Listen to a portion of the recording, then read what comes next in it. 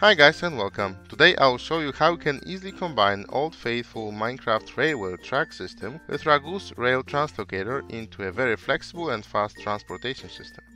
Everybody should know what the Minecraft rails are. It's a very flexible and robust transport system, but it's actually quite slow. Here we have three sections of a powered rail, each one is 20 blocks long, up, down and or forward, and if you run on this track we can verify that each metered section takes 50 ticks to run, meaning the maximum speed is 8 blocks per second per axis, regardless of the direction.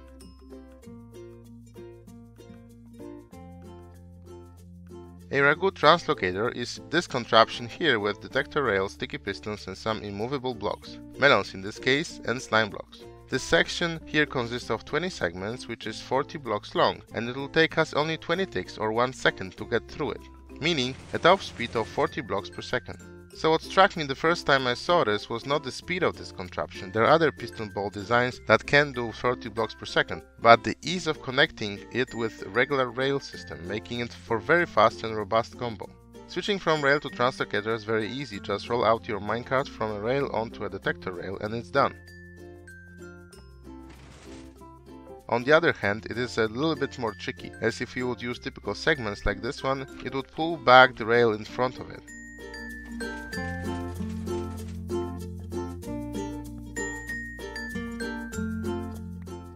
To elevate this issue, we can remake the segment like so, forming like a step looking segment, which will prevent the rail from being pulled back.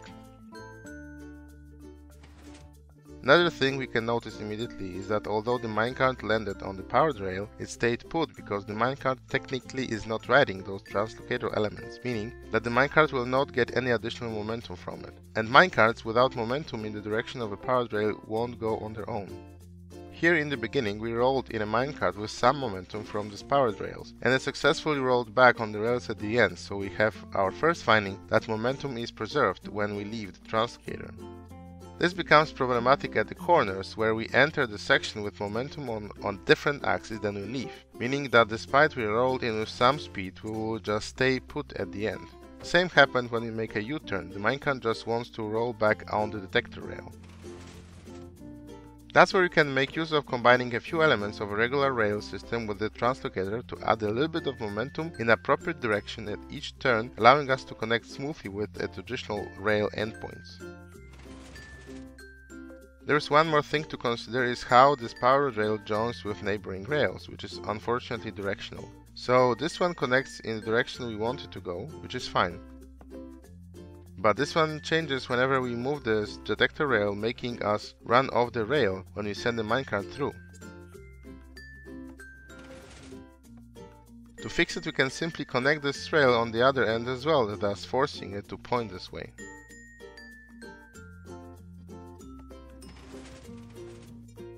Another feature of traditional rail system, which most piston bolts don't have, is the ability of going up and down. We can achieve some of it with changing a little bit the design of each segment. This translocator uses three long elements, combining one segment of Ragou translocator with a powered rail, and it takes 3 ticks to run in one segment, giving us the horizontal speed of 20 blocks per second and vertical incline of 6.7 blocks per second. So in total twice as fast comparing to regular rail. The drawback is that the ride is not that smooth though. Going downhill works actually better just by offsetting vertically each segment of the translocator rail system. What happens after release by one segment, we fall for one tick until we got detected by the detector rail again, giving us 20 meters per second horizontally and at the same time getting 10 meters per second falling speed, which is faster than on powered rail and almost as fast as free falling. And the ride is much smoother as well, the only issue is that all the momentum we had at the beginning that allowed us to roll onto a regular rail is gone at this point, because we were falling, technically, in the minecart. Meaning we need to obtain it somewhat again, but we'll get back to that issue later on. There's one more trick with piston bolts and translocators in general. If you send minecarts or entities into unloaded chunks, so with no player present, their behavior is typically very wonky. In this case, I have four lines going in two directions, offset by one block, so the slime block patterns cross chunk borders in a slightly different way. What it turns out, in some directions the translocator works fine as we load next chunks, so both minecarts would reach their end eventually.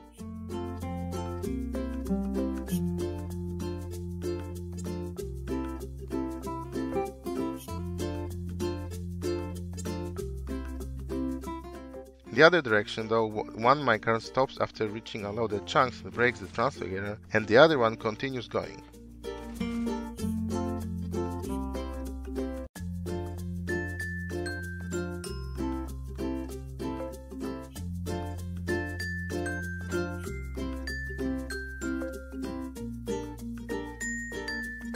To prevent that from happening, we want to avoid sending empty minecarts on longer trips. We can do it like so with a simple player detection string attached to a pulse extender that controls this turn, so we can collect rogue minecarts.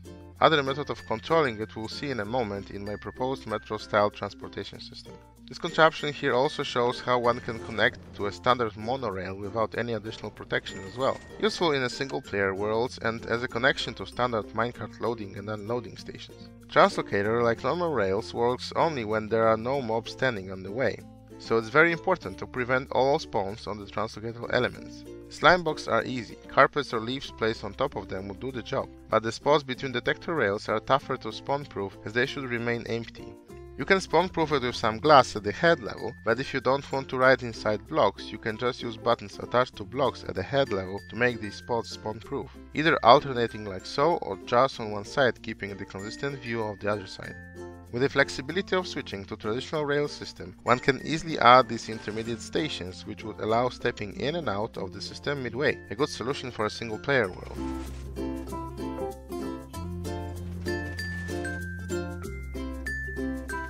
With multiplayer, when we can have potentially multiple players using the network at the same time, we don't want to keep empty minecarts blocking rail and random locations. So I came up with this idea that looks very similar to like a metro or underground line with stations that allows players to hop off the trains, get on the trains or whiz through the stations if they please. The terminal stations are easy because we always want to kick anybody here and recycle the minecarts for the next players, because that's the end of the ride. What we have here is a simple minecart storage system when we can go in two directions and when we leave the area it would pop the new minecarts for the new player after us. I like the second design better with the minecarts flat with the ground. So let's go to the first station to see how it works in practice. As you just saw, we hopped off and the minecart got collected at the cactus at the station where we ended our ride. The stations are 12 powered rails long, which gives about 1.5 seconds for the player to react and hop off the minecart if they want, but you can keep them shorter or longer as you like. If we would continue the ride in the minecart, we would trigger these butt detectors which would put us back on the next session of the Metro Tube system instead of trashing the minecart onto a cactus. If we wish to start the journey on the station, we can simply pop into a minecart and drive off in the desired direction. But also like the normal metro line, we can just continue riding and hop off at any station we want. Here's a more finished one where I attempted to hide most of the technical bits and a finished tunnel with all the necessary spawn proofing done with some extra redstone torches for dimmed tunnel lighting. Next we have an incline section with a terminal section up high.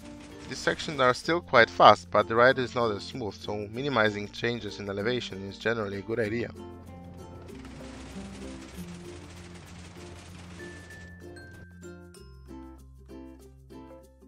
Here I should point out that I was solving the issue where falling minecarts are considered to have zero momentum, so you have to give some push for the leaving minecarts to direct them back onto a proper direction, otherwise the minecart would just stall.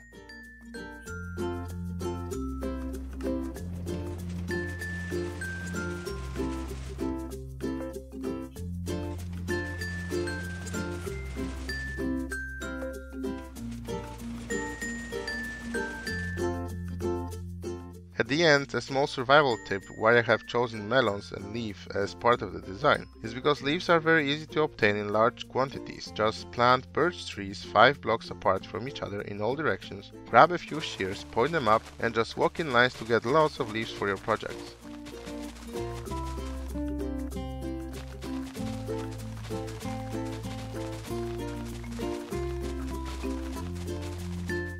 Melons are also very easy to farm. Here's a farm based on Ilmango's concept of an efficient pumpkin melon farm that uses a few extra farmlands blocks outside of the farm so the other crops are not for decoration but to speed up the growth of the melons. With that many resources, building many translocator lines shouldn't be an issue.